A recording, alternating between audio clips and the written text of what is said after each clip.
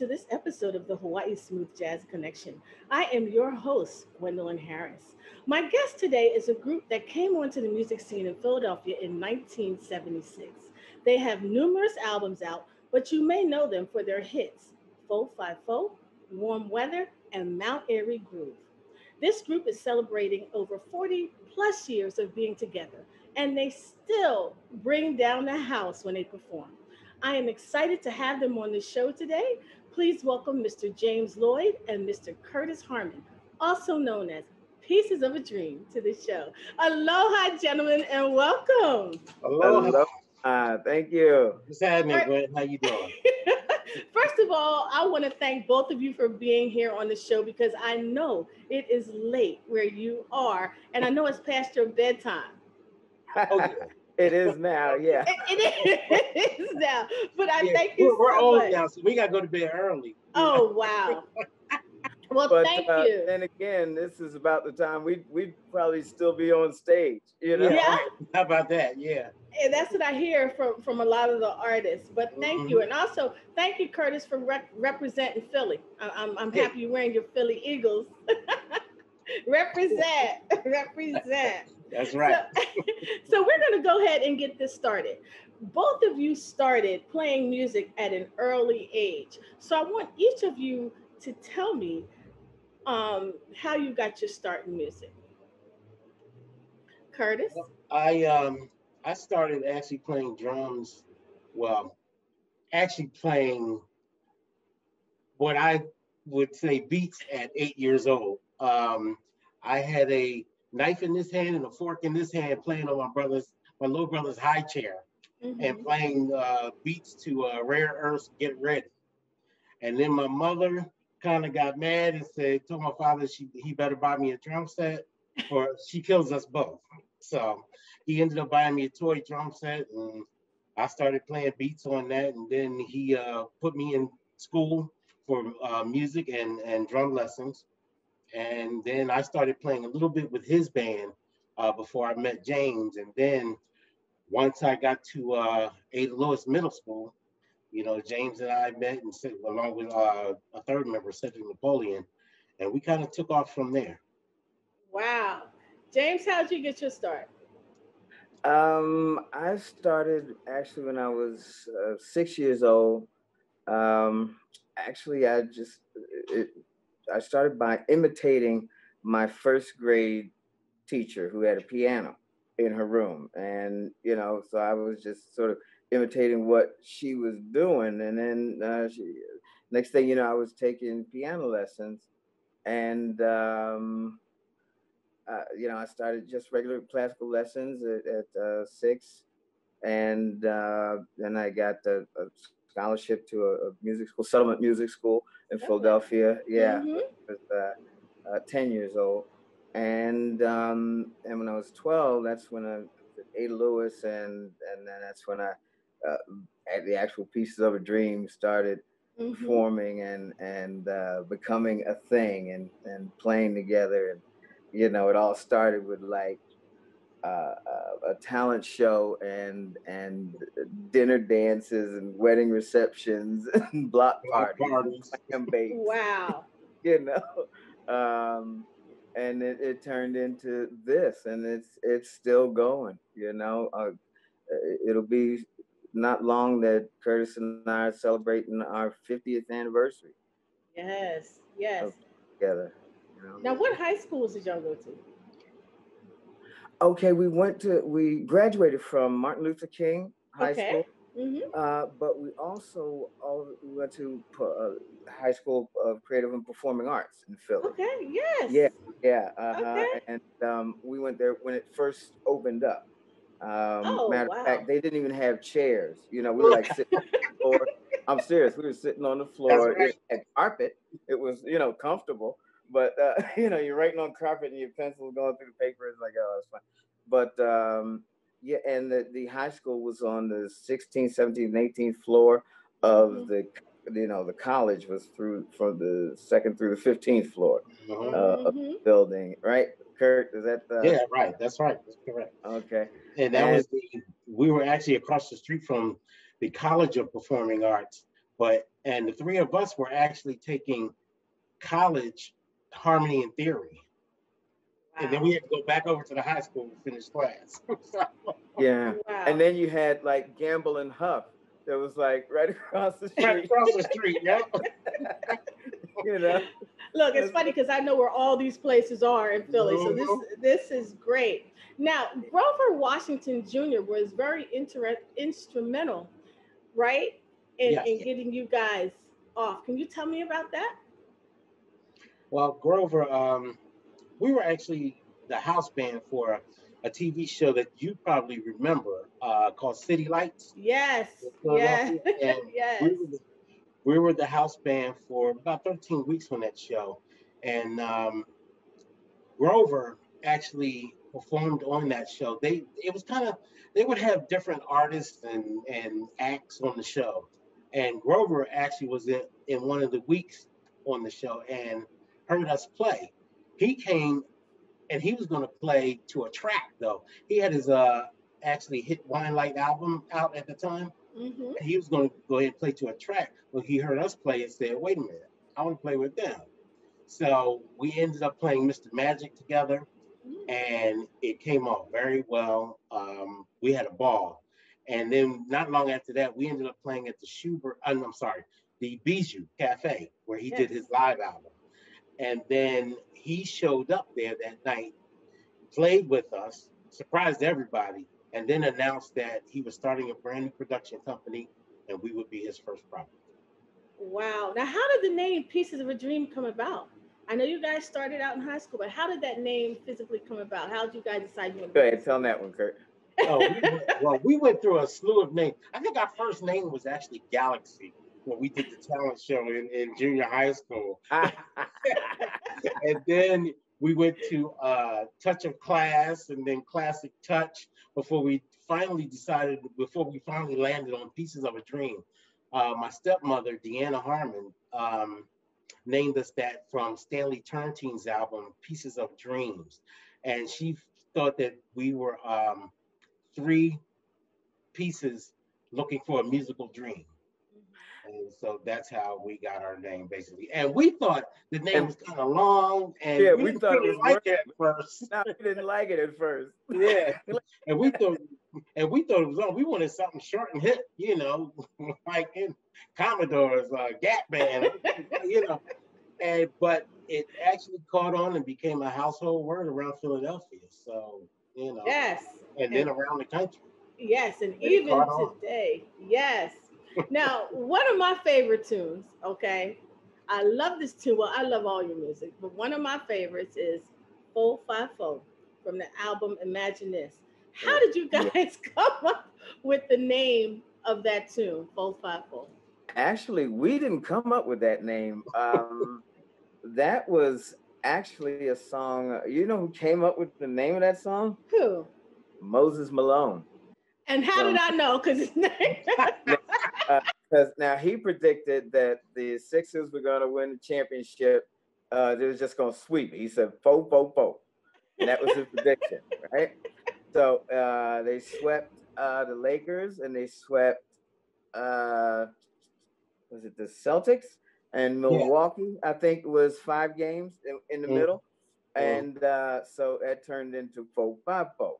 So uh, that's what the song is actually about. It's about the uh, Sixers winning that championship, and Moses Malone is actually on the record saying "four five four.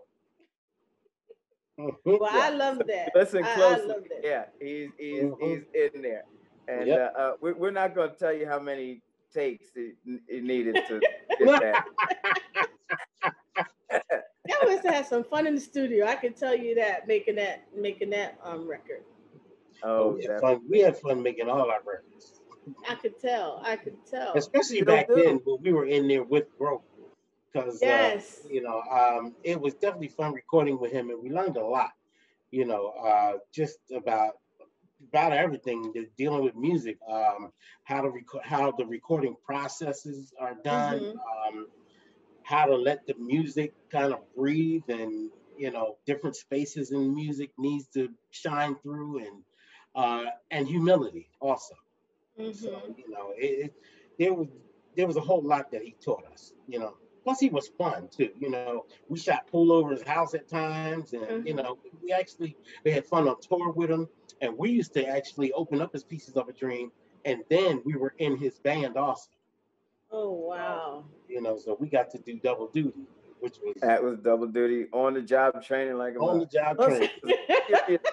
he was a sharp dresser. So, you yeah. know, we learned how to like rag from. Yeah, because you two be dressing pretty sharp. I see that. You two dress all the time. You two are stepping out sharp from the shoes, from head to toe. Well, thank That's you. Where we learned that from. That's know? what we learned from Grover. Another one of your tunes, um, Mount Airy Groove. How did you come up yes. with that? Because that's another one of your hits. Wow, now that was something um, we were messing around, and we had just gotten this this beatbox that um, had a mic built-in microphone, and you could mm-hmm. record. Like, ooh, that was a big thing, you know, back then, right? So uh, we had it at our rehearsal because a lot of times we'd be messing around with, uh, you know, just jamming and come up with these ideas, and then try and recreate it or, or record it, but forget what we, we, exactly what we did. So, you know, we this beatbox came out with the built-in microphone. We got this thing like, okay, cool. And one day we just uh, turned it on and you know, recording and and came up with this groove. Uh, I, I, think Kurt started with a beat, and then um, Cedric was doing like a, a sort of like a a Verdine White, you know, bass line, you know, mm-hmm. you know, you know, and uh, and I was thinking, I'm sort of a Parliament funkadelic, you know, kind of octave thing, you know, with the, mm-hmm. just weird timing and weird notes and like, you know, just want to make it different. And next thing you know, we listened back like, hey, this is kind of cool. Let's make something out of it. And mm-hmm. that turned into Mount Airy Groove. Well, it's definitely a hit because when I hear it, I can I can imagine driving, you know, around Mount Airy or Wissahickon and Wissahickon Drive playing that. So that I think the real I think the real thing that made Airy Groove a hit was the uh, scratching part yes. and the bridge where uh, James is playing this sound, and it sounds kind of like the old Atari TV tennis type thing.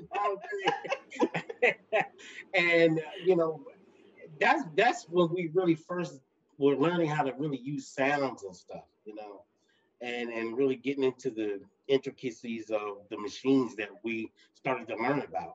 You know, mm-hmm. that was the, what Jupiter eight that was the Jupiter 8 synthesizer. Yeah. Oh, we going way back. yeah, yeah, people thought that that was like you know a, a scratching like from a record. From you know, record, but yeah. that wasn't that. That was just like me playing this this patch I sort of stumbled on and t- tweaking buttons, and I didn't know what the heck I was doing with this thing.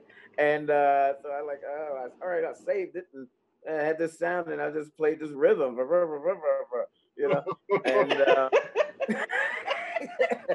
and I, I didn't realize that oh it sounded like scratching that wasn't really the intent at all mm-hmm. and um, but it, it, turned out that that was like a thing and and next thing you know it was uh, it had become like this thing in the hip-hop community mm-hmm. uh, to the point where grandmaster flash and the furious five uh, used a part of that in one of their songs and, and another artist named tracey lee used a part of Mount Airy Groove in in mm-hmm. one of his songs. And uh, you know, I, we talked to, uh, in meeting different rap artists, you know, over time, like like Chubb Rock and KRS One. You're like, mm-hmm. man, oh man, Mount Airy Groove, that was the jump, that was the mm-hmm. staple, you know. yeah, that's now, one of our staple songs for sure. Yes, yeah. it is. I love it. Like I said, I love all all of all of your music. Now, with this pandemic, which I'll be glad whenever it's over, it has hit the music industry and basically put everything to a stop. What has your group, what have you guys been doing um, during this pandemic?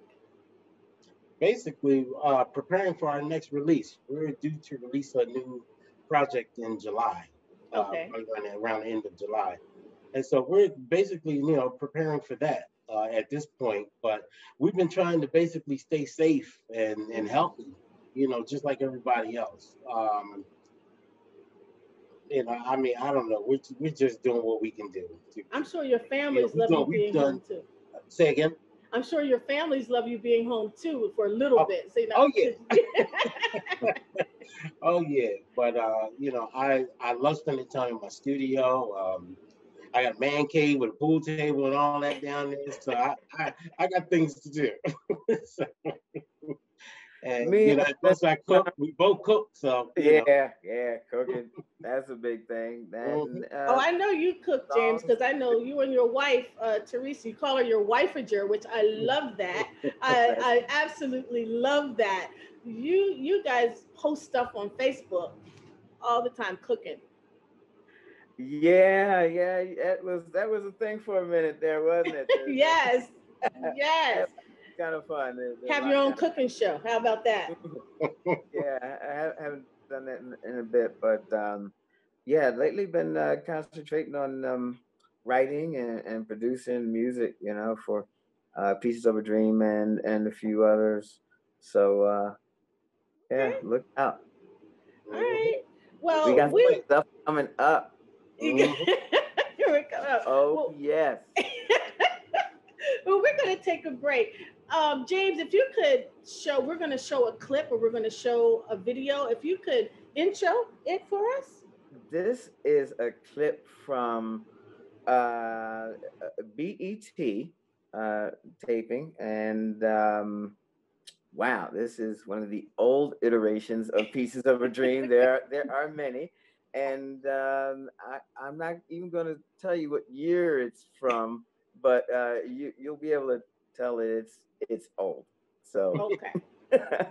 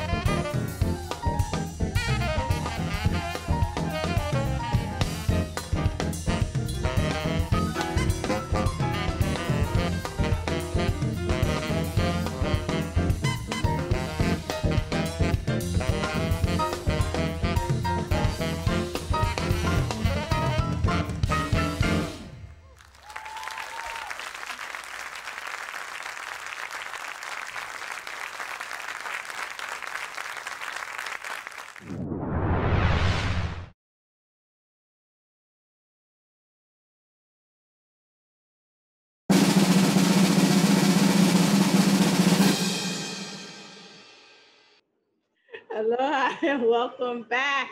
That was just an amazing video. I'm just sitting here and watching uh, James and Curtis just bopping along and and James doing doing doing his thing at the house like he's actually on stage. Um, now, one thing I want people to know is if they have never seen you guys perform, they're in for a treat because I know James the first the well the first time I actually saw pieces perform was at Brian Culbertson's festival a few years ago.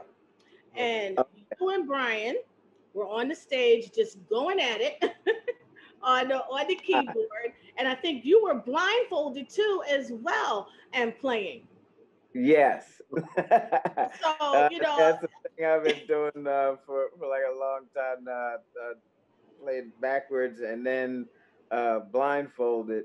And um, yeah, so uh, that's it's I, I just get crazy with it, you know. Yeah, we see. And I think at that show that you were talking about, um, I think Brian and I were go, playing backwards together. Yes, like backwards together, forward, just, just going crazy people. on stage. Yeah. Yes. Uh, going crazy. And Curtis was just doing his thing on on the drums. That was just an amazing concert. So like I said, when when you guys start performing again, people really need to go and see you. I know I will be there, um, especially in November. But you guys collaborate um, with many people. Who would be your dream collaboration for Pieces of a Dream to collaborate with? Oh, wow. Uh-huh. Um, you know, I would love to do something with Stevie Wonder. Mm. I don't know if that's, you know, how far reaching that is or much of a possibility of he's even, you know, open to doing stuff. But, you know, if uh, all things in perfect world, if I could just have, you know, my my uh, way. I always uh, say, speaking into existence, you never know. Yeah, Stevie Wonder. I What about all you, of Curtis? Uh, Quincy Jones.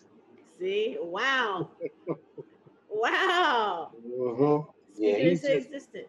I mean, his his uh, writing and production. His, I mean, he's been an icon for decades. You know, as far as his writing and production, and he's he's one of the masters of it. So, you know, he he he's actually one of my writing idols. That's for sure. Really. Now, Yeah. what what advice would you give new artists that are coming into this industry? I know it's hard right now, but what advice would you give new artists coming into the industry? Um, be original. Uh, don't try and sound like something that uh, you think has already succeeded, because it's usually something that succeeded because it was original. Somebody liked it for what it was, you know. So, um, you know, do do your own thing, and um, try. Don't try to be famous. Try to be good. Mm, Try to be good at, at your instrument or your voice or whatever it is that whatever it is that you're gonna do. You know, in life, whether it's music or anything. Ju- You know, don't don't try and be famous. Just try and be good. Let everything else Mhm. happen, Mhm. and it will. You know, when it's when it's supposed to. okay. I would say do it from your do it from your heart. Um, be sincere in what you're trying to do and let it come from right here. You know, um, and like James said, uh, don't try to be like anybody else because then they're not getting the true you if you do that. You know, uh, hone your craft Mhm. and and just have your own personality in your re- in your music. Okay. You know, that way you can develop your own sound and people know you for for what you sound like. You know, people that's- hear us people hear us on the radios and- and they know it's us because we have a certain sound. Yes. And that's that's what any artist should as, aspire to, developing their own sound. Now, what And, and you know, show- um, if I could just interject one one thing that Uh-huh, uh-huh. Curtis mentioned that um, uh, something I was just thinking about just today is that I don't know of any group that has the the difference, uh, you know, the breadth of variety of songs and music on their collection of albums. I mean, if you go back to our first to our current, you're gonna hear like straight ahead stuff. You're gonna hear vocals. You're gonna hear funk. You're gonna hear like some New Jack Swing. You're gonna hear like tender stuff. You're gonna hear like, uh, you know, uh, uh, reggae type. You Yes. know, Latin type stuff. yeah, you know, it's it's gonna Do it be all. we'll run the gamut. I don't know any other group who you know will run so many genres across Mhm. and, and within their uh, catalog. Yeah. Mhm. So, Wow, that that is great advice. Now, really quick, because we're coming to the end, what projects or what shows do you guys have coming up? I know you guys are going to be at the Legacy in November Mhm. um, in Virginia, and I will be there for that. I'm definitely coming to that. But what other We have- shows do you guys the have? the Berks Jazz Berks Festival. Jazz Fest, yeah. Okay, Uh, all right. Um, what else? We have uh, the Andiamo in uh, Detroit or Warren, Okay. Michigan.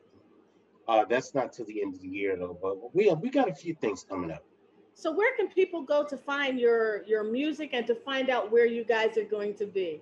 Uh, I well, you can look us up on Facebook. Um, we have we have our we have a Twitter page. We have uh, Instagram also. Uh, we also you can get our material from iTunes, CD Baby, Amazon, uh, most of your you know CD outlets and download. Yeah. So You can yeah. go to like Sam Goody and uh, Tower I heard this heard Sam Goody in a long time. Oh my goodness, that's a blast from the past. Down to Market Street. You know, you, you'll find us there. Oh goodness. Oh well, it has been a pleasure to have my homeboys here. on this show with me. You guys are hilarious. You guys are awesome. You guys are iconic. And I love you guys to death. And Thank I will thank see you. you. I I'm will gonna- see you in Virginia. I'm gonna have a serious talk with him and try to home. Oh, Try to yeah, you gotta you're trying to calm him down. Yeah. Please do, please do. But you guys can now go to bed. I thank you so much for being here with me today. Well. We'd like, to also, we'd like to also thank our fans for all the years of support and love that they've shown us. And you know, we we really do love you guys, and and thank you so much for allowing us to have a career. Because without you, there's no us. So Awesome. Indeed. And thank you for having us, dear. yes, no definitely. worries. Thank you. And to my audience, thank you for joining us today. And until next time, aloha and God bless.